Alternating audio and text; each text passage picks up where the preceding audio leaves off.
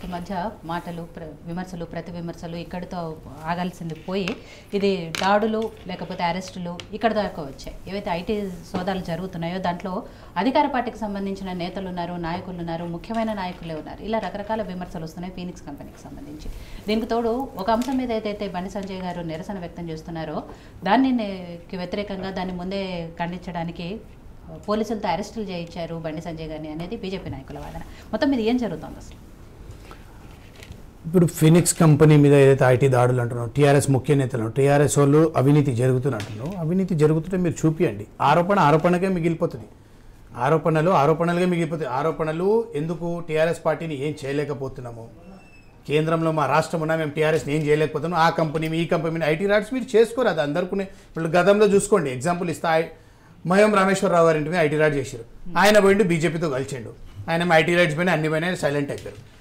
ఏది ఏదైనా భయపెట్టాలా మన పార్టీలో జాయిన్ చేసుకోవాలా? ఇప్పుడు ఫినిక్స్ కంపెనీకి మా కేటీఆర్ గారికి సంబంధమే లేదు. ఇప్పుడు ఎన్నో ఉంటాయి కన్స్ట్రక్షన్ కంపెనీలు. దానికి ప్రతి దానికి కేటీఆర్ గారికి ఉంది ఇంట్లో కవిత గారికి ఉంది ఇంట్లో ఇలా సంతోష్ గారికి వాటా ఉంది ఇంట్లో మీరు ప్రూవ్ చేయండి. మేమేమన్నా అవినీతి జరిగినట్టుంటే మీరు ప్రూవ్ చేయండి. యాజ్ పర్ రికార్డ్ రండి మేము హండ్రెడ్ పర్సెంట్ సహకరిస్తాం. మేము ఇప్పుడు కాదు వంద సార్లు కూడా మా ముఖ్యమంత్రి వర్యులు చెప్పారు మేము ఎక్కడ అవకతవకలు చేయలే. మీరు అమ్మ తెలంగాణ ప్రభుత్వం వచ్చినాక ఎంత డెవలప్మెంట్ అయింది తెలంగాణలో? తెలంగాణ రాష్ట్రంలో కరెంటు నుంచి తీసుకుంటే రైతు ఈచ్ అండ్ ఎవ్రీథింగ్ మీరు చూసుకోండి. ఏ రాష్ట్రంలో నేను అభివృద్ధి మేము చేస్తున్నాం. వీళ్ళకి ఏంది ఇప్పుడు వెస్ట్ బెంగాల్లో ఒక మా వెస్ట్ బెంగాల్లో వీళ్ళ గవర్నమెంట్ వీళ్ళ గవర్నమెంట్ లేని దగ్గరనే ఐటీ దాడులు అవుతాయి వీళ్ళ గవర్నమెంట్ ఉన్న దగ్గర ఎక్కడ ఐటీ దాడులు కావు ఈడీ దాడులు కావు.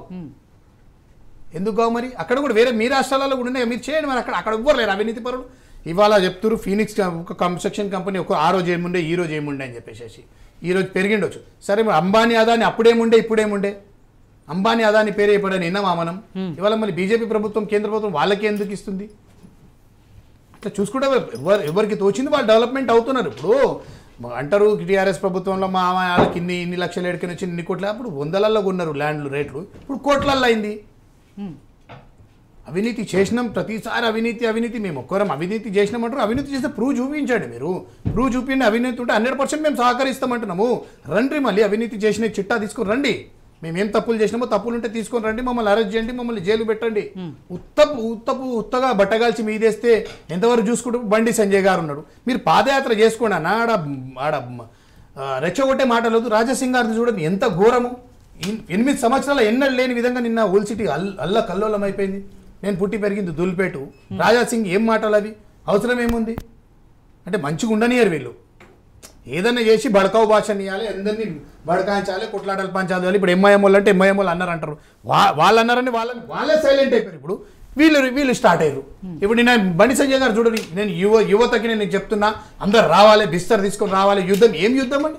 దేని మీద యుద్ధం? దేని మీద యుద్ధం? దేనికి చేస్తారు యుద్ధం? ఏం జరుగుతుందని చెప్పి యుద్ధం దేనికి? మీ నిరసన తెలపండి. ఇళ్ళ మీద దాడులు చేస్తారా? ఇళ్ళల్లో అటాక్ చేస్తారా? ఏమిటికమ్మా ఇళ్ళ మీద దాడులు చేయడానికి? ఏం హక్కు ఉంది మీకు? ఒకరి మీద ఒకరు ఇల్లు దాడి చేయడానికి? ఆరోపణలు అందరి మీద వచ్చినాయి. మా గతంలో బండి సంజయ్ గారి మీద వచ్చినాయి రఘునందన్ రావు గారి మీద వచ్చినాయి రేవంత్ రెడ్డి గారి మీద వచ్చినాయి. అందరి మీద. ఆరోపణ ఆరోపణగా మీకు అది తర్వాత అది డిపార్ట్మెంట్ చూసు దానికి మీరు మేము చెప్పాల్సింది మనము ప్రొటెక్ట్ చేయాల్సిన అవసరం లేదు మనం. మీరు చేయండి ప్రజా సంగ్రామం యాత్ర ఒక్కటి మీరు చేసుకోండి వద్దంటలేదు మీరు అక్కడ రెచ్చగొడుతున్నారు ఉత్తగా. రెచ్చగొట్టి గొడవలు చేస్తున్నారు. మంచి పీస్ఫుల్గా ఉన్న తెలంగాణని గొడవల పాలు చేయాలని. ఇప్పుడు మీరే చెప్పండి బండి సంజయ్ యువతకి నేను చెప్తున్నా రండి యుద్ధం. ఏం యుద్ధం చేస్తారమ్మా? ఏం యుద్ధం చేస్తే దేనికి యుద్ధం చేస్తారు? యుద్ధం చేయాల్సిన అవసరం ఏముంది మీకు? ఏం మిమ్మల్ని రోడ్ల మీద తిరగనిస్తలేమా మేము? రాజాసింగ్ గారు చేసిన వ్యక్తులు చూడరమ్మా? రాత్రిరంతా ఓల్డ్ సిటీలో కంటికి నిద్ర లేదు పాపం ఒక్కొక్కరికి అరిచేతులలో గుండెల్లో అరిచేతుల్లో పెట్టుకొని బతుకుతున్నారు. ఎందుకు ఇది? ఈ భాష ఏంది ఇది అరే ఇప్పుడు లీగల్ ఉంది మీరు అప్పీల్ చేయండి లీగల్గా ఎవరేం చేయాలో చేస్తారా? మునావర్ అనేటోడు. ఆ మునావర్ అనేటోడు మన తెలంగాణలో మాత్రం మరి ఏం పడుకోవచ్చు మునావర్ అనేటోడి మీద రాజేష్ సింగ్ చెప్పి మునావర్ ఉండేది ఏడమ్మా పుట్టి పేరు పుట్టి పెరిగిందా యూపీ. ఉంటుంది ఎక్కడ మా మహారాష్ట్రలో. అక్కడ మా గవర్నమెంట్ ఉన్నాయమ్మా. అక్కడ వాడిని అక్కడ మీరు చేయండి వాడిని అక్కడ చేయండి. మమ్మల్ని రానియొద్దంటే మేము ఒకరిని ఎవరిని ఎందుకు రాని రానియకుండా ఉంటాం? ఎవరు ఎక్కడైనా పోవచ్చు రావచ్చమ్మా.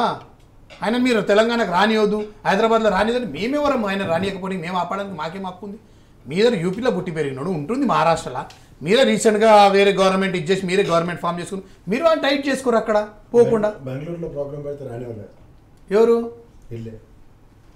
ఇదే- మునావర్ బెంగళూరులో ప్రోగ్రామ్ పెడితే అక్కడ ప్రభుత్వం కానీ మిగిలిన వాళ్ళు కానీ అక్కడ పర్మిషన్ ఇవ్వలేదు రాలేదు అనేది. సో ఇక్కడ ప్రభుత్వం కూడా చేయొచ్చు కదా మేము చేయం మేము ఎందుకు చేస్తాం? అమ్మా మా దగ్గర ఏం బడకో భాషను చేయట్లేదు తప్పు మాట్లాడలేదు. మాకు తెలుసు కాన్ఫిడెంట్ ఇచ్చింది మాకు మేమేం తప్పు మాట్లాడడం ఆయన ఇక్కడ ఏం ఎలిగేషన్ మాట్లాడి ఏది మాట ఆయన వచ్చాడు ఆయన పని ఆయన చేసుకొని పోయాడు.